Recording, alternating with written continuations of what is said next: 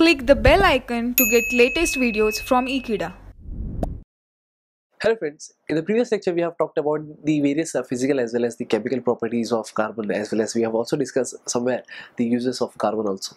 So now in this case especially we are going to talk about especially about the uh, uses of carbon and what are the uses uh, in uh, within industries as well as in uh, the other fields also. This is what we are going to talk about. So let us discuss about the uses of carbon.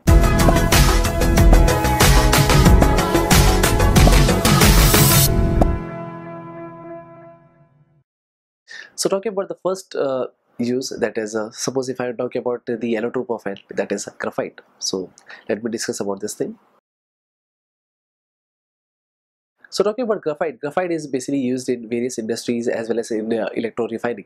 So for example, if uh, we are talking about carbon, so carbon is basically used in batteries also. Like suppose if we uh, talk about uh, that is an electrolytic method for uh, that is uh, for separating the sodium and Cl. So in that case, basically graphite rods are being used, as well as since it is not very much reactive with that of water so that's for so that's the reason that uh, we could uh, use in the uh, decomposition of water molecule also so as to get H2 as well as the O2 gas. So there basically the graphite is being used. While the other applications of this is basically it has also been used in the uh, manufacturing of uh, the plastics uh, like tennis rackets and that of that is fishing uh, in fishing net also basically the uh, graphite is been used.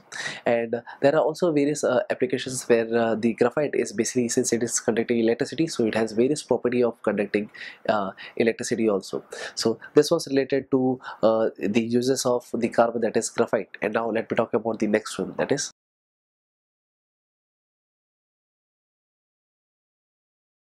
So now let me talk about diamond. As we have discussed earlier also that is the diamond is the one which is a very hard material and that's the reason that it is used for abrasive purpose. That is it is used for cutting uh, the various tools or cutting the various materials and it can act like a tool. And uh, that's the reason that it is also used for in, in mining as well as in digging uh, is such places where basically digging is very much difficult with the help of a normal material like steel or any kind of an alloy. So therefore the diamond is being used in that purpose and uh, talking about the other uh, uses also that it uh, since it is made up of pure carbon and that's the reason that it is used as a jewelry also and since it is the hardest material obviously it is very much costly. And so these were the uses of the diamond and now let me talk about the next one that is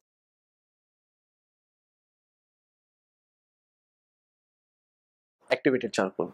So this activated charcoal as you have seen uh, in various ads also that is uh, are basically uh, the uh, absorbent. They are used as absorbent. So that's the reason that uh, various poisonous gases or various other materials which are uh, which would be act like an impurity that could be absorbed because of the activated charcoal which is nothing but carbon only. So this is a very highly porous material which is basically has a capacity to absorb various poisonous gases not only gases poisonous gases but it can also absorb various gases as well as the various uh, uh, we could say like uh, absorbents. So that's the reason that uh, it is uh, very uh, it is known as being activated charcoal. And they have very widely used in the industry so as to purify certain substance. And now let me talk about the other one that is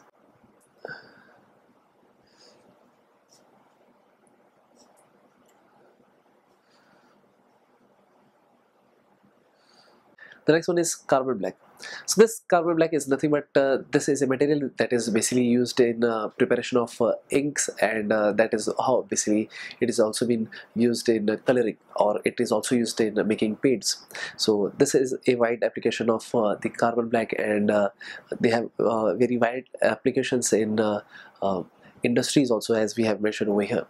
And uh, talking about the next one that is suppose if I talk about coke. So coke is the one that is uh, basically a carbon that absorbs that is basically used in uh, industries uh, or in metallurgical purpose so as to abstract the impurity and then how we could get a pure uh, uh, metal at the end so these were the uses of carbon that I was talking about.